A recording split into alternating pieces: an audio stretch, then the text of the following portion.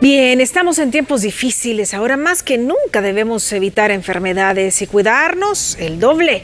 El dengue está haciendo ya de las suyas en algunas partes de nuestro país y es por eso que en Santa Tecla, para evitar esto, pues iniciaron con jornadas de fumigación. Vamos a ver.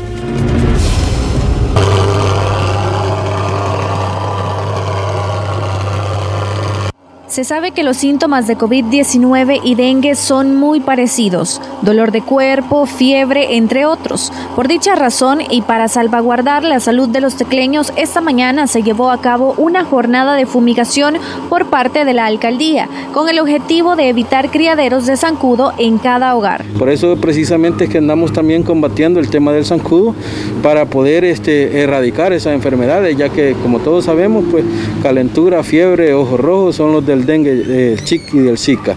Entonces, precisamente por eso se nos ha instruido de que hagamos el barrido ya, total, pero no solamente estamos haciendo eso, también estamos llevando a cabo paralelamente, ahorita estamos en los girasoles, en lo que es el tema de sanitización. En la colonia Quesaltepec de dicho municipio, algunos habitantes no permitieron el ingreso a sus casas por miedo a algún contagio de coronavirus, aunque otros abrieron sus puertas de forma inmediata.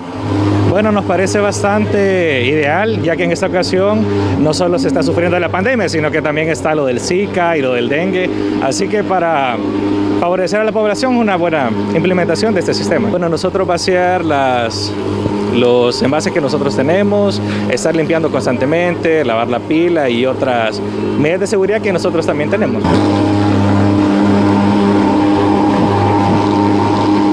Fumigando. ¿Puede mostrarnos qué fue lo que le entregaron? Nos dieron abate. Ajá. Para ponerle. Sí, lo voy a poner en las pilas. Sí. Esta medida permite eliminar focos infecciosos que puede generar el zancudo, sin descuidar además la prevención ante la pandemia por COVID-19. Con imágenes de Elvis Martínez, Fiorentina Campos, Noticias 4 Visión.